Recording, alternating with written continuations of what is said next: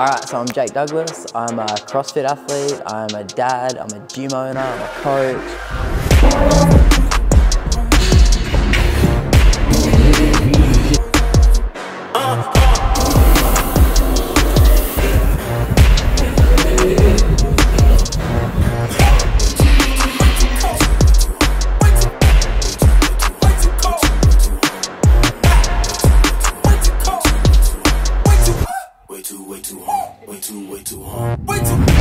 Alright guys, what's up? I'm Jake Douglas. Welcome to a day in the life as I get ready for Down Under CrossFit Champs. Let's go.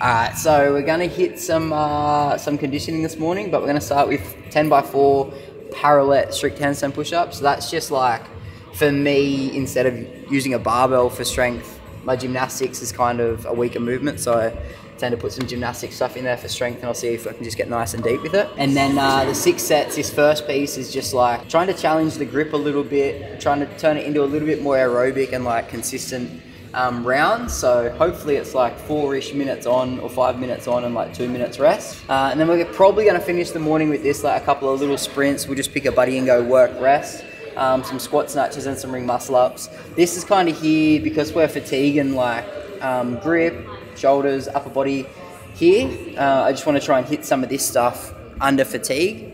So yeah, we'll see how it goes. It's like I was always like a rugby player, rugby union. Yeah, I just thought that was probably where my career path was going to go, and all through that, I like was always into the gym and stuff. And I just had a school teacher who kind of introduced me into CrossFit and showed me what it was, and I picked up some of the movements all right, and realized I was pretty strong. So then I just did CrossFit for strength and conditioning for a couple of years, and really enjoyed it. And yeah, man, it just kind of like evolved from there. So uh, this workout, to recap it, kilometer on the bike. It's not really there for a biking capacity. It's more about um, a bit of a pre-fatigue into what's to come. Then there's 15 pull-ups, 10 hang power cleans at 70 kilo, five shoulder overhead, and 100 dubs. Two minutes rest, do it six times. So there's like quite an amount of volume on it, but for me, it's all about trying to like work on my grip endurance through the pull-ups and the hang powers. When I first rode it, I was like, it'll be okay now I'm starting to think that's going to be pretty bad, you know? So, we'll see. A bit nervous.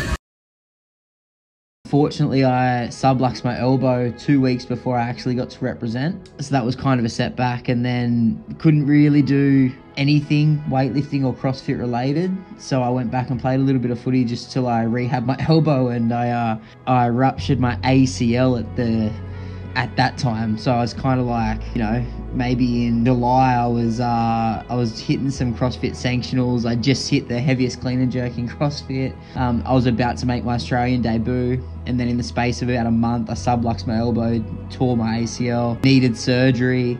Looked like I was going to be over a year out with just uh, rehabbing the knee and the elbow. So I kind of thought my um thought my CrossFit career was over as soon as it started, you know. I guess I sort of took my time and watched some people compete and figured, no, I'll just give it one more go. And, you know, I tried again and I tore my knee up again, uh, entered a weightlifting competition. In 2020, it might have been, tore my knee up again, literally on my first snatch and had to go for another surgery. So I did that. At that moment, I realized how badly I actually wanted to compete in CrossFit and I wanted to go well. So yeah, I just kind of made the full commitment that I wasn't gonna gonna compete in Olympic weightlifting anymore, and I was just gonna focus on CrossFit and see see what happened if I if I tried to not be as strong but try to get well rounded, I guess. So kind of strapped myself in and, and fully committed to this CrossFit thing, and yeah, I made the made the CrossFit Games the year after that, which was everything I'd worked for. You know, like I'd been competing in the space since 2018 with all those injuries and setbacks, and kind of made it all worthwhile to actually make the games. Led us into uh, Down Under, which uh, again, I, I kind of felt like I was just getting established at that next level of competition, and my fitness was coming along. And then I uh, I sprained my SI joint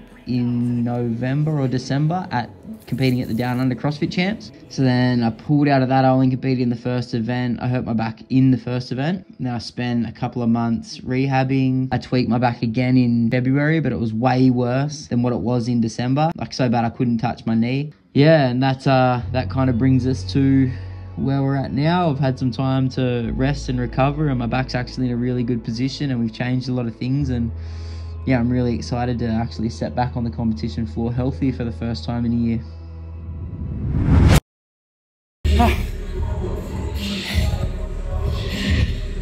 That's the morning done.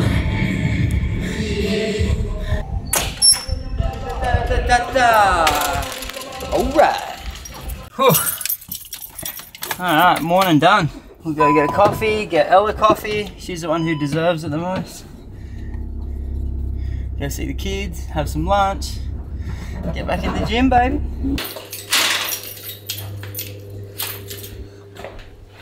Guys, so we're back at my house, having some lunch, hanging with the kids. You want to taste this? Yeah. I mean, I haven't seen you excited for a comp for a while. Yeah, Like you're pretty pumped for Down Under. yeah. It'll be fun to see you compete. I know, I suppose, with a little bit less pressure. Yeah, and just out of pain. Just, I'm just so, like so thankful to be out of pain, and it's just made me enjoy everything so much more. And as I said, like at at Torian, I, I thought I was done. Like I thought I was gonna have to retire because I was in so much pain, and just now, oh, it's like a weight off my shoulders, man. It's crazy. Don't necessarily do it for them because it was something that I did before uh, I had my kids, right? But at the same time as when when I'm in it and I'm going through it, you remember kind of what the kids are sacrificing and what my wife's sacrificing and all that stuff, and that that's certainly what helps me for sure. The kids might miss out on a party when it's close to a competition, or Ella misses out on on a social event when I'm deep into training, or we don't get that Sunday morning sleep in because I'm training. And those are certainly all things that I think back on um, as training gets tough and as the hard days do pile on, it's like it's not just me sacrificing; it's everyone in the family dynamic that sacrifices for me to do it. It's a funny thing when it's greater than you. I feel like you can push just that little bit more. Push him on the swing. Yeah. Okay, ready? Look out. Whee! Whee! Oh, nearly. Oh! You. See you, kids. you gonna come See you, wave bye? kids. You gonna wave bye to daddy at the window? Bye. Come on, we're gonna go wave bye to dad. Peanuts. Give me peanuts. Bye. Love you. Bye. That happens every time.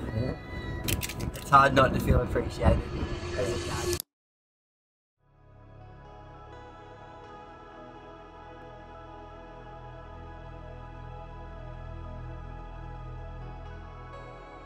I can distinctly remember growing up and feeling like I was at a disadvantage. I think that that just put a massive chip on my shoulder. And it was like, you know, you can't, just because I'm from here doesn't mean I can't do something. And that's like, I think that's been a big driver for me, you know, like I, I had to move to the city to go chase my footy and all that kind of stuff. And I guess now I'm in this career and most of the, the bigger names or, or the more, I guess, successful people were all in training camps and they were all around the city areas. When I was coming through, I didn't have access to any of that. And I just really remember leaning on the fact of like, well, I mightn't have the competitors, but I've got my, like, I, I can show what we can do from the country. Not as big of a disadvantage, you know, it's not an excuse to not make it. You just need to work harder. And I genuinely believe, yeah, maybe being from the country, you need to work a little bit harder, but that's not a bad thing.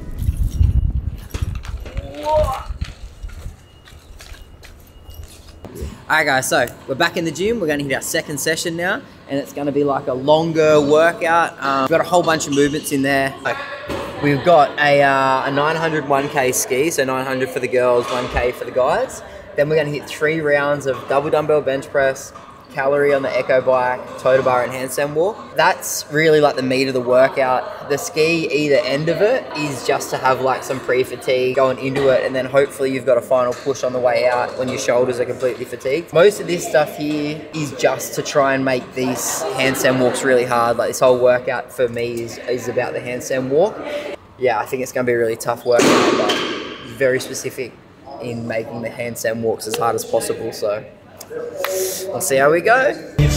Alright, ready, ready? How long the time cap? How long does everyone need? 60 minutes, done. You got 60 minutes on the clock. light bulb moment of like I felt like it was just a matter of time until I was going to make it because I wasn't going to stop.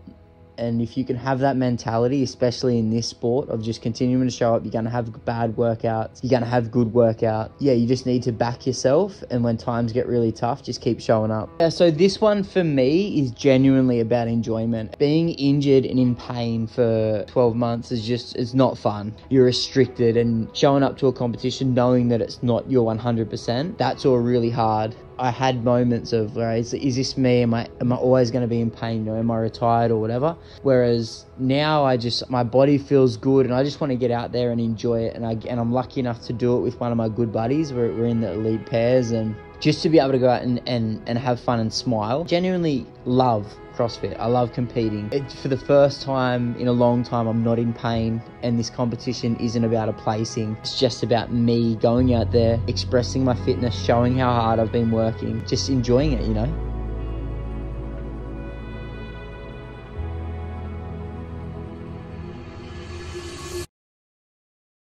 Was such a seamless partnership. Like it was so easy from the get go, and um, the fact that I get along with Andy and Ben so well, like that's really cool. And for me, like the WOD Life is an iconic Australian brand within our space. So when the opportunity came up, it was like hell yes. It's a brand that I've been behind and always looked at from the very first day I started CrossFit or, or found out what CrossFit was. So yeah, like I I feel privileged to be able to you know be an ambassador for them and, and partner with these kinds of things and try and help them with their brand because they're obviously helping me with my brand as well. And I just feel like, especially the fact that I'm Australian, it just makes so much sense for me to to be with them. And I feel like our values align so well. I think if I had to use it, say one word, it would be privilege. Like I feel privileged that I get to align with with the WOD Life.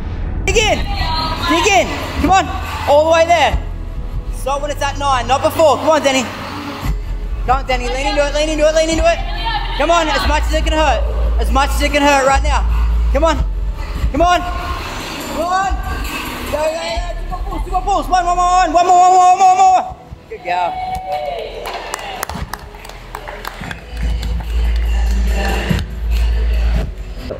Alright guys, that's a wrap on our Saturday. Thanks to the WOD Life for making this happen. Hope you enjoyed coming in, checking out, hanging out with us.